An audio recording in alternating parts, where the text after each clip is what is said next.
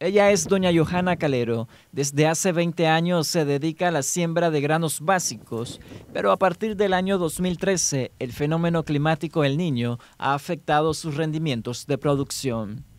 Mire, con esta yuca lo que ha pasado es lo siguiente, si ella hubiera sido con buena cosecha de agua, esto no estuviera así delgadito, ni esto tampoco, ni esta maderita así.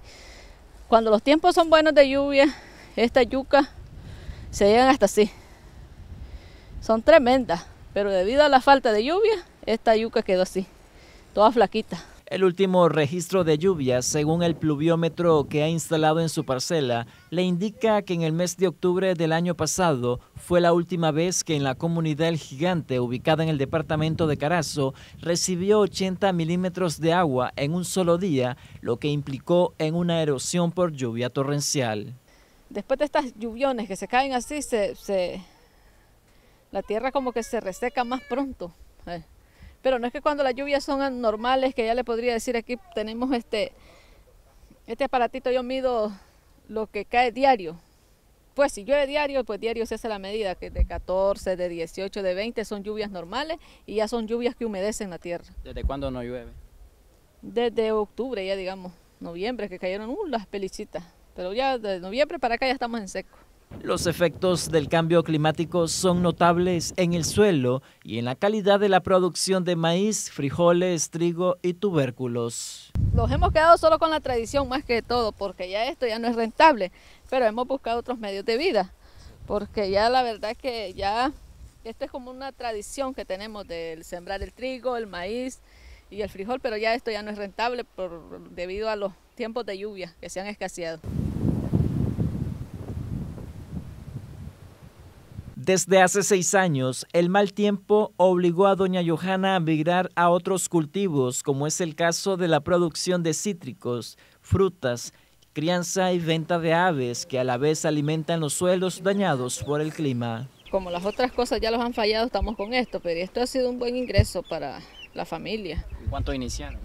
Iniciamos con 25.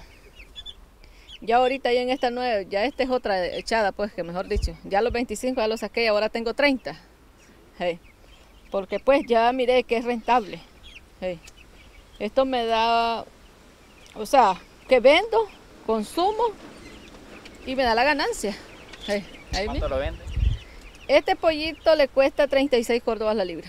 Eh, las iniciativas productivas y la diversificación de cultivos a través de patios eh, familiares y también lo que son las cosechas eh, de árboles frutales ha permitido que los suelos cambien y obtengan mayor humedad, o sea que retengan mayor humedad debido a que la cantidad de árboles permite una mayor infiltración de lo que son las aguas de lluvia hacia el subsuelo. Los productores de esta comunidad han recibido asistencia técnica y acceso a financiamiento a través de organizaciones no gubernamentales que impulsan que los productores busquen alternativas de sobrevivencia y adaptación al cambio climático.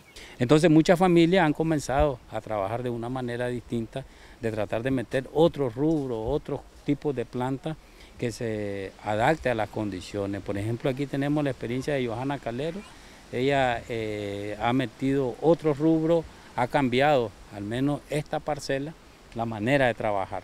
Es una parcela diversificada con frutales, ella está cosechando fruta, cosas que otros no tienen donde cosechar, ¿verdad? Ha cambiado la manera de sembrar, ha cambiado la manera de manejar su suelo, ¿verdad? Esto en vista de producir, generar ingresos, pero a la vez proteger la fuente de agua.